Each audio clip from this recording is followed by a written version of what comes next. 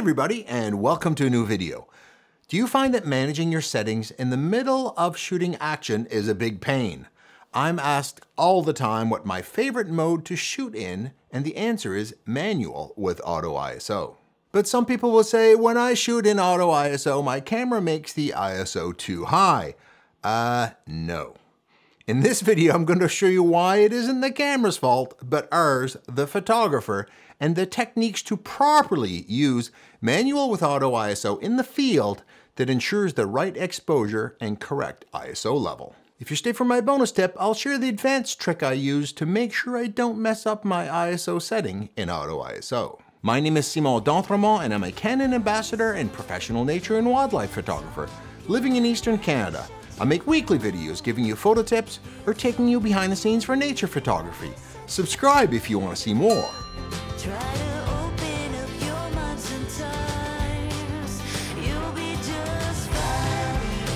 So first off, what the heck is shooting in manual with auto ISO? That's when you set your camera to manual, which allows you to set the shutter speed, aperture, and ISO independently but you only set the shutter speed and aperture manually and set the ISO to automatic, which allows the camera to select the ISO for you.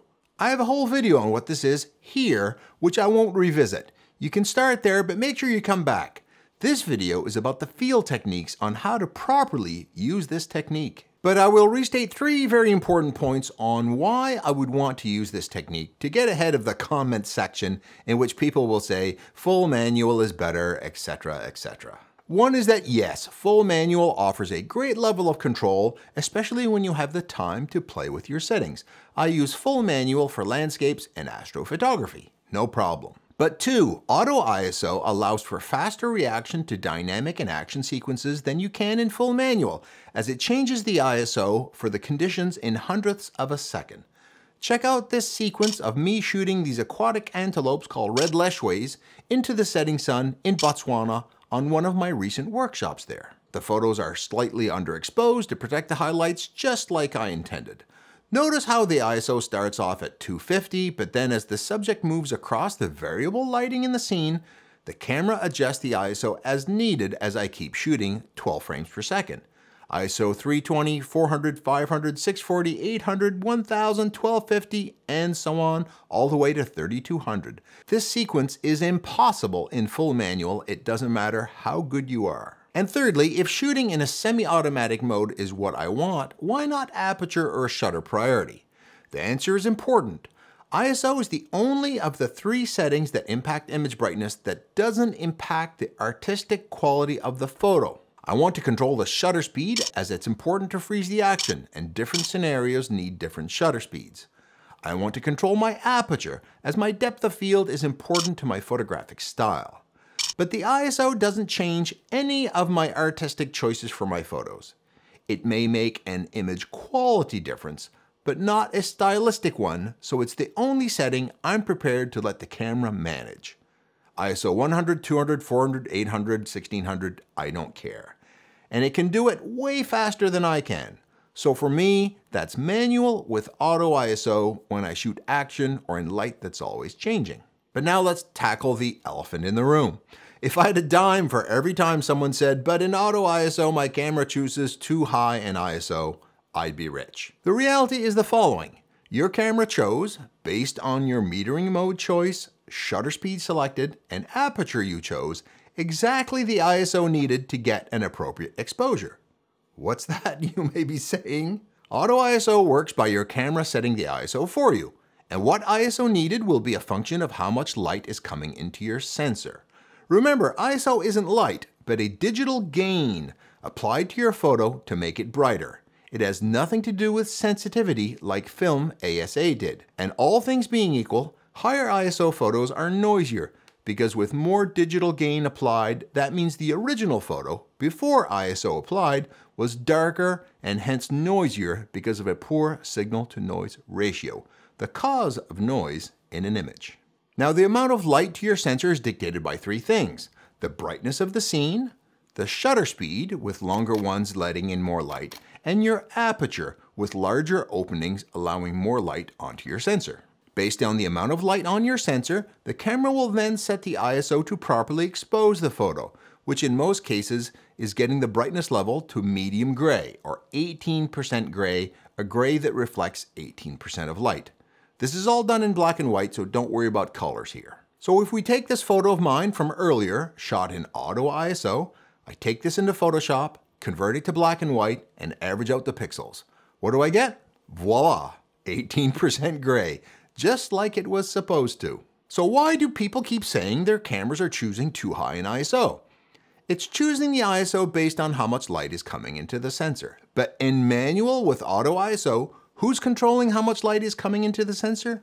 You are. That's right, you're controlling the shutter speed, you're setting the aperture, and you're deciding to add light to the subject or not with a flash, for example. Which means, and this is the whole point of this video, in auto ISO, the photographer is still responsible for the ISO, as the camera is setting the ISO based on the amount of light on the sensor, which is controlled by the photographer. You may not be setting the exact ISO, but by your shutter speed and aperture settings, you're deciding if your ISO is low, medium, or high.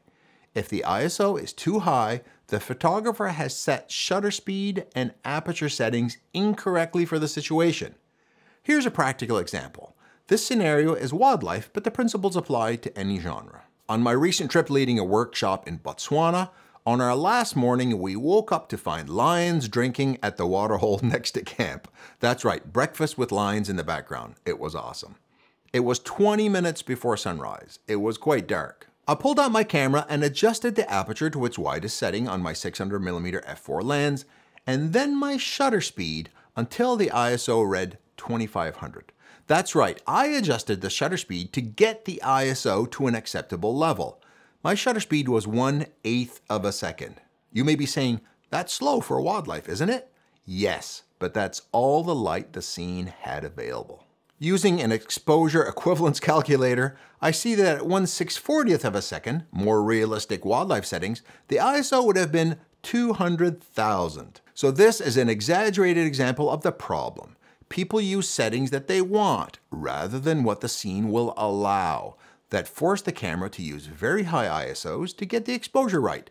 And when the ISO gets too high, say that it's the camera's fault. The camera is doing exactly what it's supposed to. The onus is on us, the photographer, to choose aperture and shutter speed settings that are appropriate for the light in the scene, to allow the camera to set an ISO that's appropriate. So in this case, 1 8th of a second for me gave me ISO 2500. My aperture is already wide open at f4, it can't go any wider. Now I can go up to ISO 12800 with a full frame camera at need, but less than 6400 is nice for image quality. And at 1 8th of a second, will all the photos be sharp? Nope. At 600 millimeters in a handheld, if there's any movement at all in the scene, even with no movement at times, the image will be blurry. In this case, less than half of them are sharp. Now what do you do when the light changes? About 10 minutes later, more lions came to drink and the light had improved a bit, closer to sunrise. To get the camera to select an ISO that was appropriate, I used a shutter speed of 1 100th of a second to get ISO 4000. At this shutter speed, a greater proportion of the shots will be sharp. Note that I adjusted the shutter speed to get the ISO ballpark where I wanted, somewhere between 3200 and 6400. I could have left the shutter speed at 1 8th of a second to get a lower ISO, but it was more important for me to get more shutter speed for sharper photos and freeze any movement. By the way, follow me on Facebook and Instagram as I almost always give a photo tip with every post. And sign up on my email list and I'll give you my guide on shooting in backlit situations for free. Link below. Now back to lions. Then they started fighting. Oh dear, still before sunrise and there's fast action. A poor combination. I raised my shutter speed to 1 160th of a second. Still too slow, but that gave me ISO 6400 as high as I wanted to go. Again, I chose the ballpark ISO by setting the shutter speed to as high as I could for the available light. Will they all be sharp? No. But I'm as high as I can go for the light that I have to play with. A bit later, 1 800th of a second. Now we're getting close to enough shutter speed to freeze the action on a regular basis. ISO 5000.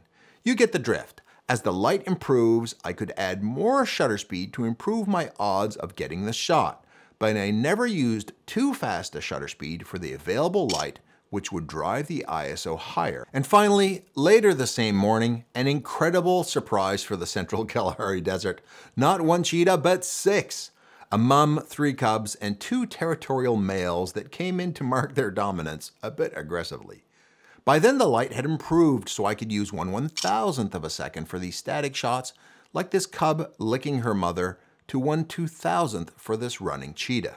Again, I only used this high shutter speed when I had enough light to allow the auto ISO to be at a reasonable setting. I even went to 1 3200th of a second when the light improved even more and the action looked serious, giving me still ISO 1600.